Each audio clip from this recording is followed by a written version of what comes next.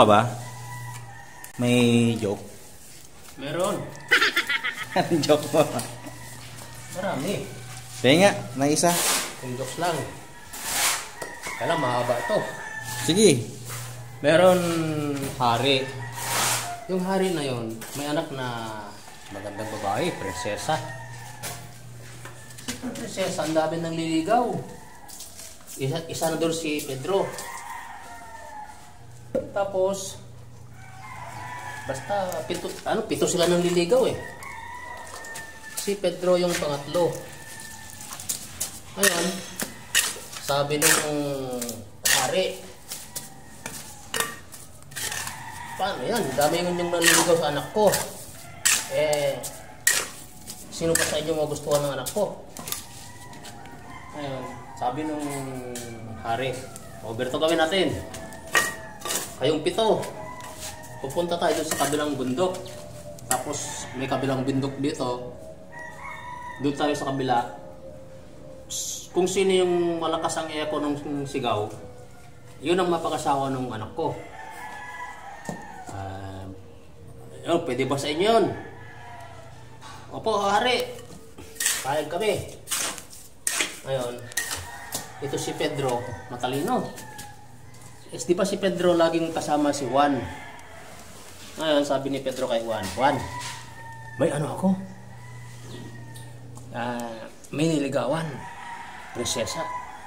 Pwede ko ba ako tulungan? Sabi ni Pedro kay Juan. O sige, Pedro. Di ba magkaibigan tayo?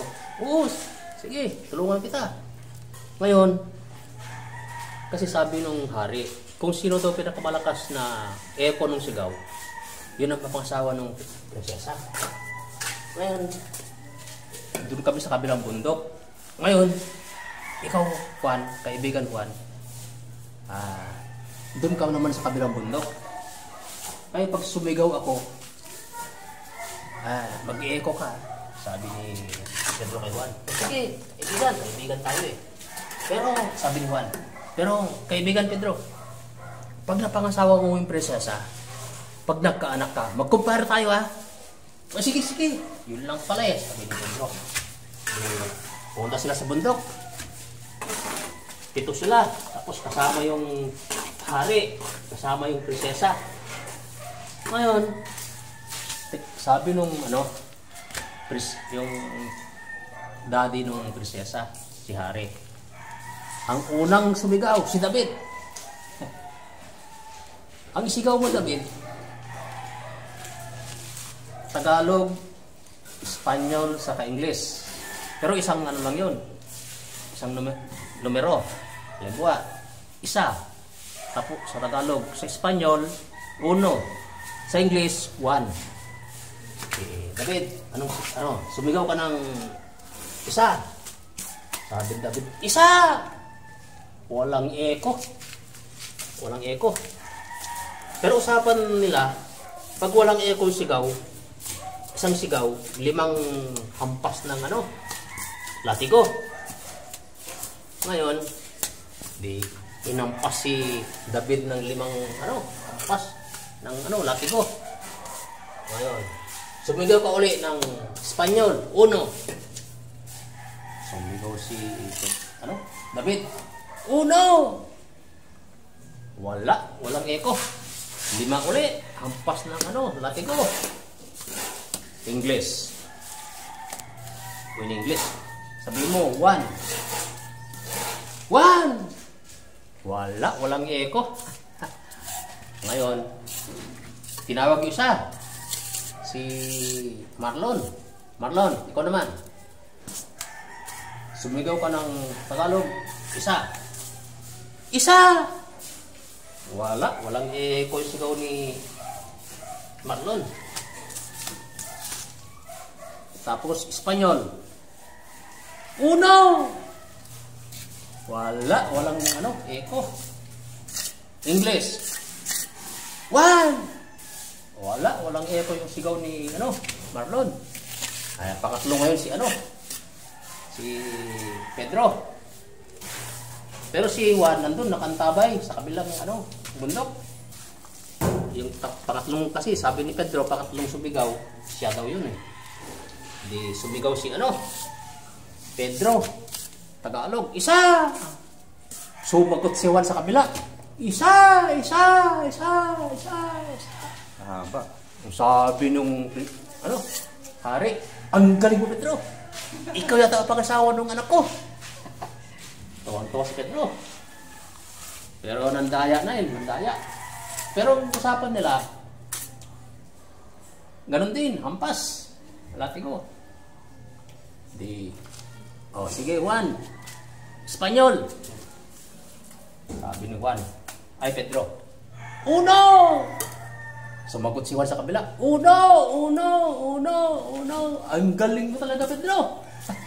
Ikaw ang pangasawa ng anak ko. Ay, English! O, English. Sabi ni Pedro, Juan! Ito naman si Juan, nagkamali. Akala ni Juan, tinawag siya. Sabi Bakit? ni Juan, ano, bakit? Nagkamali. Ayan, nag-booking si Pedro. Inampas. Nagampas ng latigo. Sangkong latigo. Ti- tinatawag yung si Juan. Sino yung tao dyan sa kabila, kabilang bundok, Pedro? Ah, Ari. Si ano, Juan, tawagan mo. Ah, pinaggampas silang dalawa. Madaya kayo ha. Huli. Huli. Yun pala yung joke na yun. Panalo na sana eh. Kamali si Juan eh.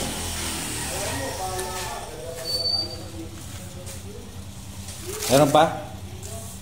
Marami. Ano pang isa? Ah, meron magtatay. Si magtatay, magbubukid.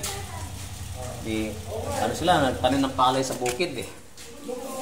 Ngayon, nung hapon pauwi na sila, alas 5. Nap nadaanan nila yung ano, nag-inuman. Napainom ngayon magtatay.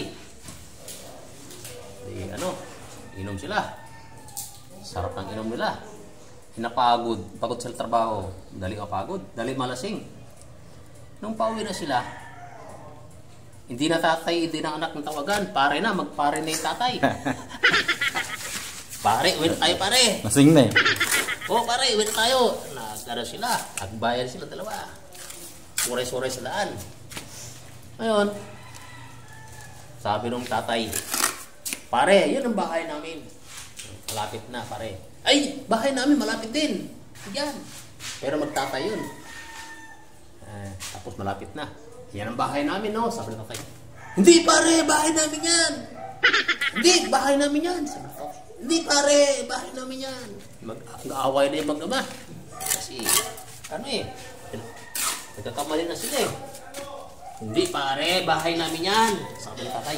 Hindi, pare, bahay namin yan. Ngayon, lumabas yung ano, yung asawa ng tatay. O, asawa ko. Hindi, nanay ko yan eh. Hindi, asawa ko yan. Hindi, nanay ko yan. Sabi ng anak. Nag-away na yung mag-ama. Sa lumabas yung ano, sabi ng nanay. Oh, kayo mag-ama, naglasing na naman kayo, nag-away na naman kayo. Mga wala sa ayos eh. Lasing, lasinggero eh. Pala yun.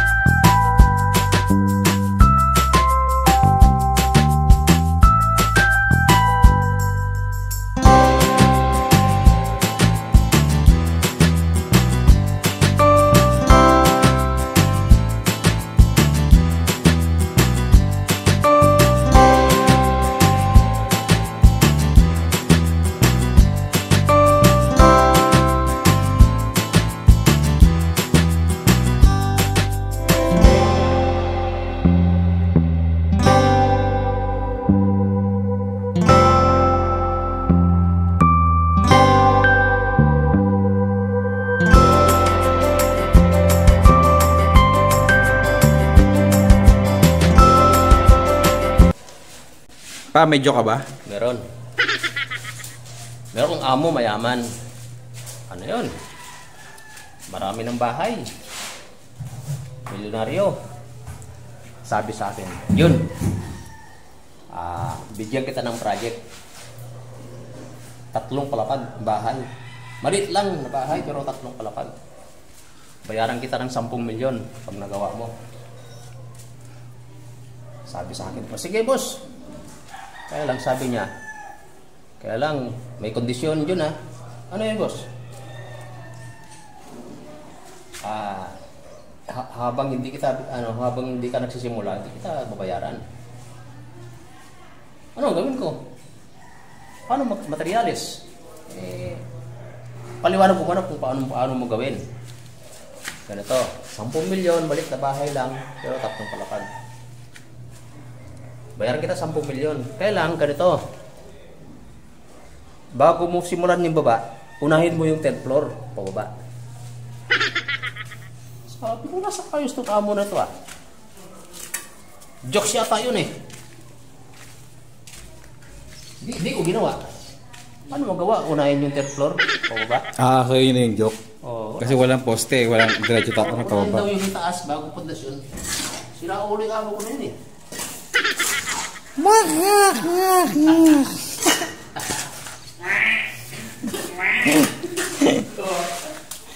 Yung jokes mo pa. Meron pa, meron pa. Meron pa, laso, laso. Meron pa.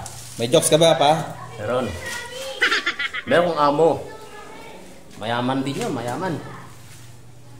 Isang ganito lang na pader, no? Pader, hollow blocks. Bayaran ko isang milyon. Gibain ko raw. Malit lang, ganyan lang. Gibain ko raw. Kaya lang, bawal ang martilyo, bawal ang silsil, bawal ang maso. Sabi ko siya, boss, anong gawin ko? Paano mo giba? Oh, Bawal martilyo, bawal maso, bawal ang ano, silsil. Ganito gawin mo. Pero bigyan kita ng 1 milyon para giba mo ha. O sige. Ano ko? Anong dalhin ko? Magdala ka ng gloves. Buksingin mo. Sabi sa akin, Iwas sa ayos ang amo ko na yun ha. Hindi, imposible pala. Hindi ko ginawa. Jokes niya rin yun. So, yun ang ano, jobs ko.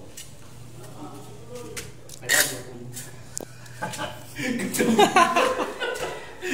na, wala, wala, wala yung, wala na yung jokes eh.